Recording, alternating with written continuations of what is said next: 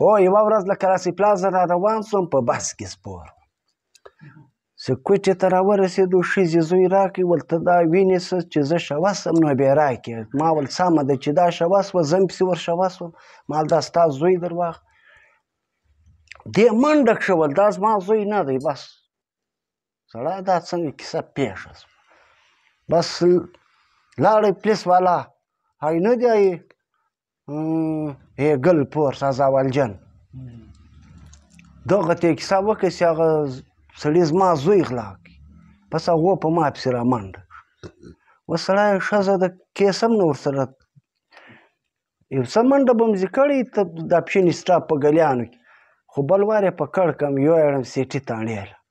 سیټي تاڼې له سې یو اړم وروره یو دوه درې ورځې خو وولم ویل یې تا دا څنګه کیس کړی دی ما وروره دا رښتیا داسې دي د دې کښنا یې وایي هو ستا بیخي د پایلټ رنګ نو بس بله وارې وروره د تاڼې راړم ای بلې شیلې راړم ای اوده جیله د اوده جیل و د دویم منزل ته یې وخېزولم او لېمنې یې که د تس ما ویل ما یو شی هم نه دی کړی بل وار یې راتس سي راتس یې کم سي چې پر مځکه وښنتم بس راویښ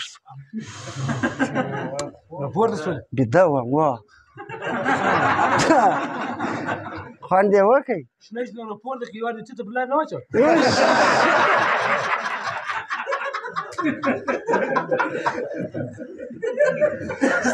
ستا په دې کې ولاکه یو غړم لکه د قایم بوریم پر میټ ولاړ یو لکه غړپ وایي پزه نو د دم ښه پزه چې وخاندې لکه پر سپي سي بېلچه پرته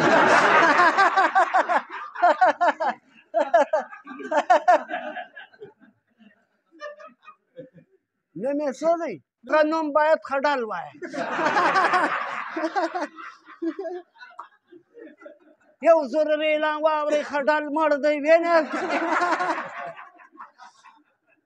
پلانه یې درا کې پټې راشي شي دوی سرمایدار سو ګیټ یې وکړي پردا یې راټار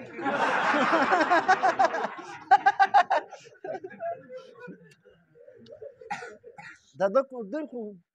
کوټه موټه نه ستس لکه سپه یو کوډه لور ونړې بل ور آی لکه سایکل چې ماښام ورسې و دیواله ته یې رنګه ودر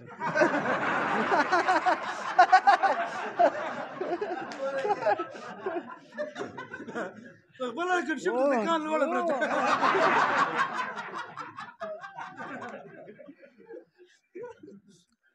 خوب مو به نسته ګرد کور لکه چرګان شپه پر لرګوی ترای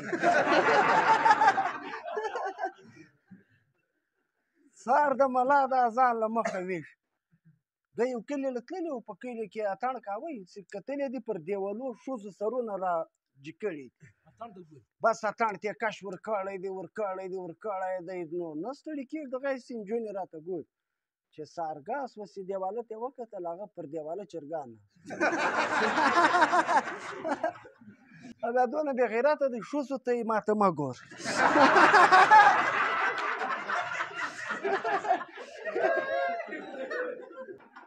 کلین شیپ خو همدارنګه ورسره ایسي لکه خر چې په ریړۍ کونه خوښ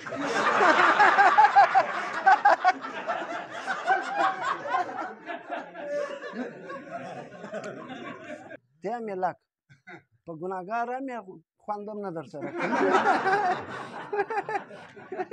دیم د ملا زی ملا زه ملا زه انګه څه کونک سره سو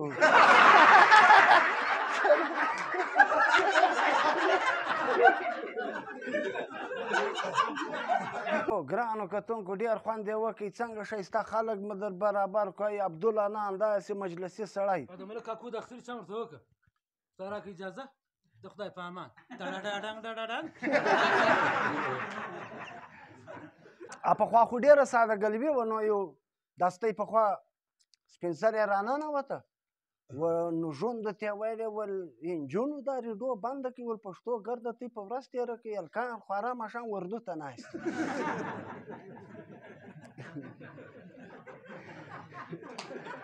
د بیا ریډو پر تکلم زکه وويسته مور پر ژغ کې ول مغزای د ما څه پر دین جلې د کې مړک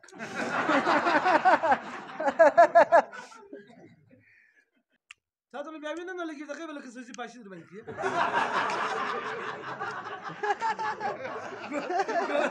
ګونی ته کړه ضروري کړه ګندنه